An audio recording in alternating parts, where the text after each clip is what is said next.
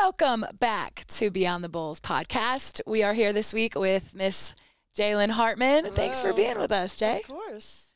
How are you? I'm doing pretty good. Had a nice coffee this morning. so- Okay. What kind? Uh, vanilla Vanilla iced coffee, iced latte. iced latte. Are those the ones you guys are making at your house, or are you going and like spending six No, bucks? Going to Tim Hortons, Okay. but I'm a I'm a member of Okay. Tim Hortons app, so Okay. So like, what what are we talking? Like three, four bucks? Three fifty. Okay, three fifty. Okay. You're not a Starbucks girl. I am usually, but it's too far. Yeah. And the one on campus, it's a whole hassle to Okay. get my car. Uh, you and Tara have an espresso, don't you, at your house? We do. Do you use we, that a lot or no? We do, but we've we've consumed all of the Nespresso pods. already, so. okay, so we need a refill on Yeah. the Nespresso pods. Jaylin is a coffee connoisseur, so those of you guys that love coffee, this is your girl here. So, um, Jaylin Hartman, uh, what number are you wearing this year? Thirty-one. Number thirty-one this year for the Buffalo Bulls. Tell us a little bit about yourself. Um, so I'm from Jersey. Uh, take a lot of pride in that. I am, I would say, on the court, I'm versatile. I'm um, a competitor. I'm a team player. And then off the court, I would say I'm also pretty versatile with my interests. I like, like thrifting, video games, um, coffee drinking, um, and yeah, big movie person. I'm pretty much like a 40 year old woman when it comes to movies and music. So yeah.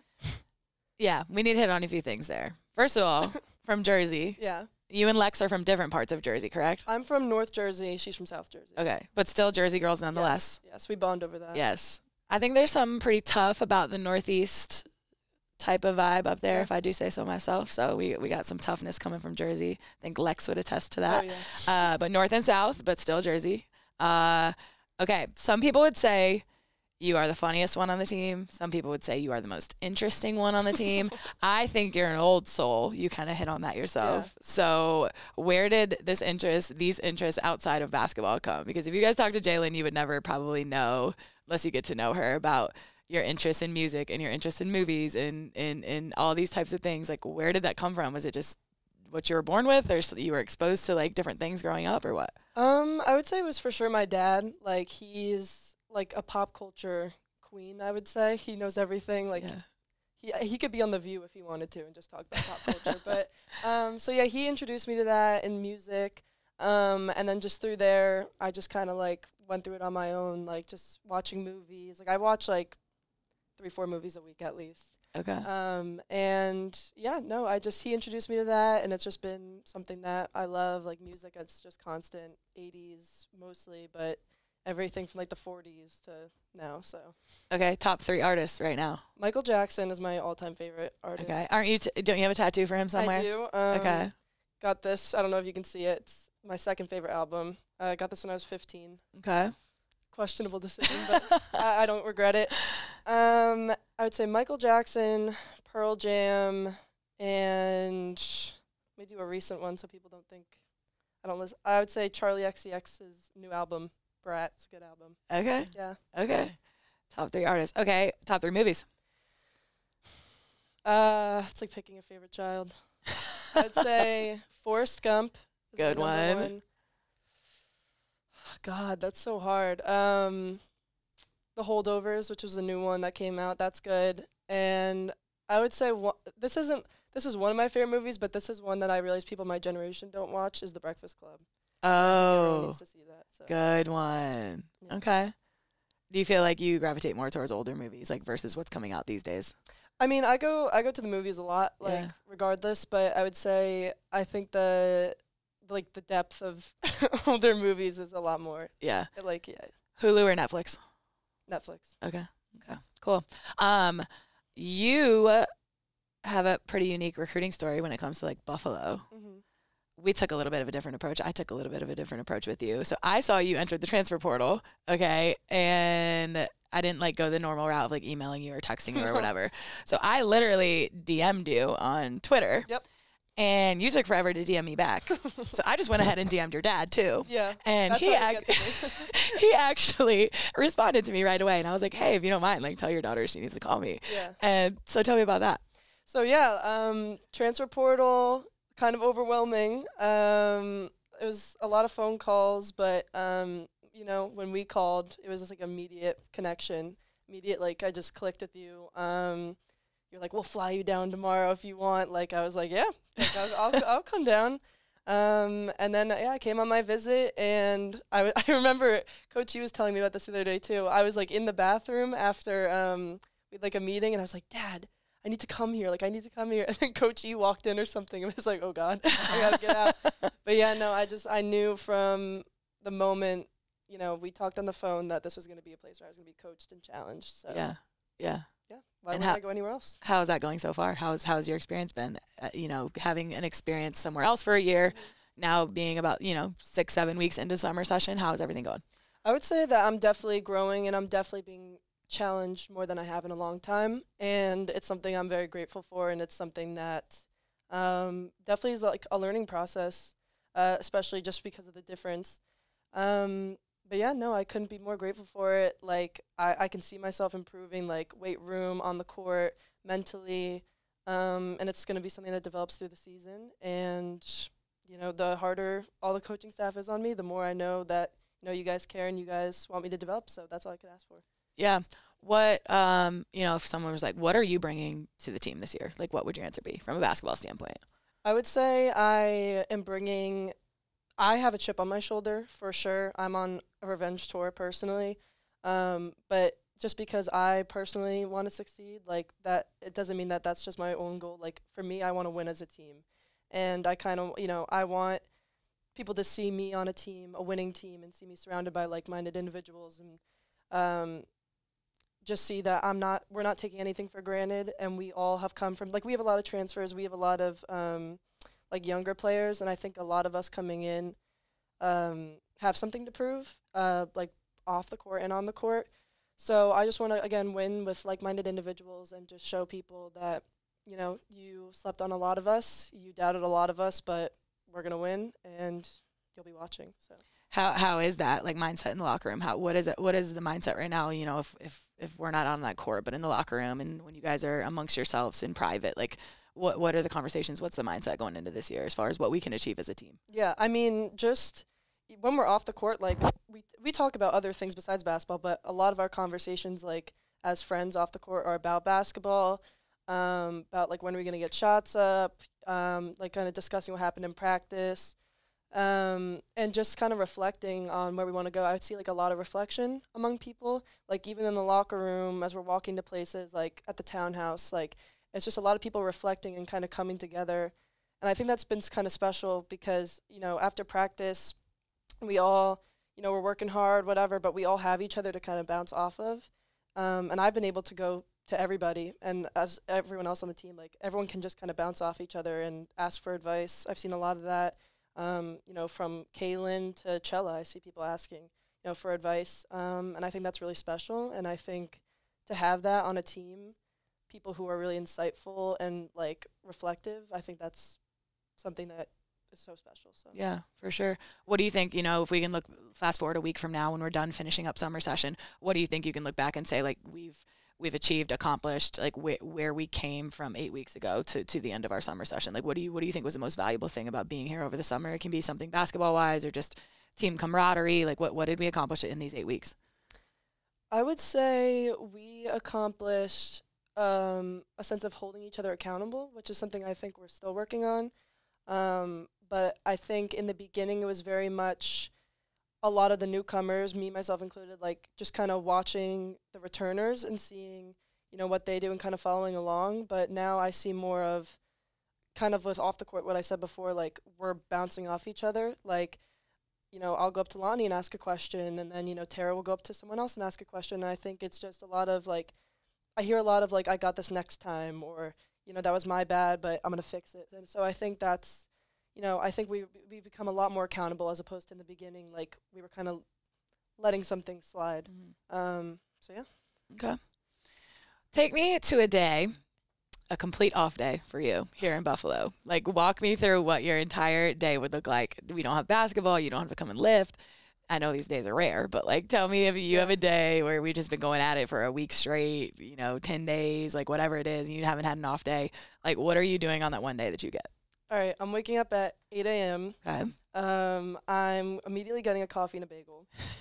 From Tim Hortons, both. No, I would say from uh, Spot Coffee. By Okay, you. That- yeah. that, place is good. Okay. Um, after that, probably gonna go thrifting. Um, probably call my boyfriend Okay. a little bit. Uh, come back, play some video games. Uh, go to Panera, of course. I'm on a seven day streak right now. Oh my Panera, gosh. um, the same meal. But uh, then after Panera, probably come back, take a little nap, go see a movie, call my dad about some new TV show, um, ask for a picture of my dog just to remind myself of the good times. Um, and then I don't know, probably back to video games and just just chilling. Like if I could go somewhere, I would go to like Los Angeles for a day. But Okay. that's that's kind of a crazy. Yeah, you ain't going to LA on your off day. No, We'd never make it back for practice, but, no, but- it's, it's nice to dream. yeah. Nice to dream. Okay, so let's hit on two things. Number one, thrifting. You some good thrift shops here in Buffalo. Yes, um, we went to Savers with one recruit. That was that was a really good um, time, and that was like it was huge. Yeah. Um, and then there's a couple of vintage stores in Buffalo. I haven't been able to go to those yet, just because like they're just they're kind of more expensive than like normal thrift stores. Right. Um, but yeah, no, definitely looking for more. Gonna take probably Sam and some other people with me. so, Okay. yeah. Okay. So thrifter, and then the other second thing we need to hit on is you got to tell everybody. Jaylin is a gamer. I am a gamer. What are your games of choice? Okay, well, my favorite video games of all time are GTA, Red Dead Redemption 2, and The Sims. um, but I would say now I'm playing Valorant, Outlast Trials. I'm going to sound like such a nerd. um, and what else am I playing right now? I'm about to play Baldur's Gate, which is like a Dungeons and Dragons type Yeah. The only one I've heard of is The Sims because I used to play that like Yeah. literally 15 years ago on my like little Yep. computer. Yeah. Um. Okay. Interesting. People are going to think I'm such a nerd, but That's okay. own it. Own it. Yeah. We we love you for it. Um. Well, anything else you want to tell the people about? You know, just just the team this year. What you're excited about? What to expect when they come to Alumni Arena to see you play? Anything you got? You want to tell everybody?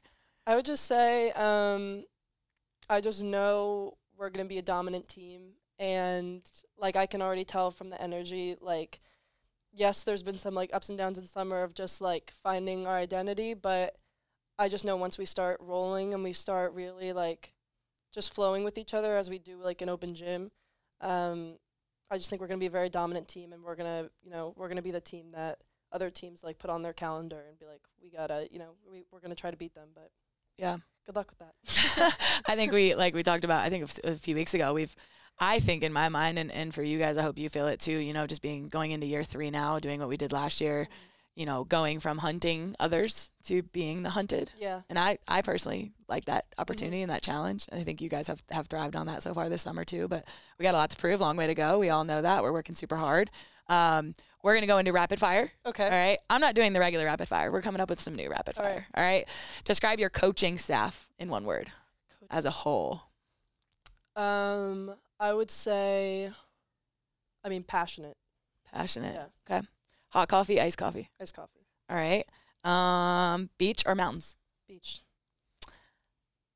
Hot chocolate or hot chocolate or what's the um Chai latte.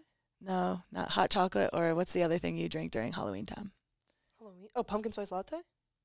Yeah, let's do hot chocolate or pumpkin spice latte. Uh, I'm gonna say hot chocolate. Hot chocolate, okay. Peanut butter or jelly. Peanut butter. Okay. Gaming or thrifting? Gaming. Choosing gaming over thrifting? Yeah. Okay. Uh Panera bread Yeah. or It's gonna be hard to top this one. hundred dollars cash. Like, are you talking like never eat Panera again, or just like a meal? I'm talking like I'm gonna take you to Panera right now, let you order whatever you want, or I'm gonna give you a hundred dollars. You can't go to Panera with the hundred dollars. Okay, then I'll go to Panera. 'cause I would have spent it the hundred with, with the hundred dollars on Panera. But uh, favorite sport besides basketball? For some reason, I don't know why, I love watching. Okay, this is probably not a sport. I don't know what it's called, but you know the movie Napoleon Dynamite. That thing he's hitting. It's like on a pole. Oh, tetherball. Tetherball. Tetherball. Why did we have one of those in my backyard growing up? You did? Oh yeah, don't mess with me Oh on my tetherball. god! th- I, when I get a house, I'm getting that. I'm Okay. gonna be in the backyard like. Oh yeah, tetherball for sure, for sure. Speaking of weird sports, the Olympics are on right now. What are you watching? Anything? I am watching a lot of the swimming, um, and then I'm the gymnastics are like when we have practice, so I can't really watch that. Uh, but I'd say swimming, uh, men's and women's basketball, and weirdly, oh my god, what was that called? Dang, it, I don't know what it's called, but yeah, swimming and basketball. Yeah, I think the Olympics are a time to watch the weird sports. Yeah, and, like love it. sure. I'll be like locked into like oh, handball, handball. yeah handball. I feel like I would, I'd crush that. It's, Um, like, it's basically basketball kind of. yeah, actually, a lot of handball players do play basketball, hmm but I've been watching like ping pong, or Yeah. table tennis they call it, badminton.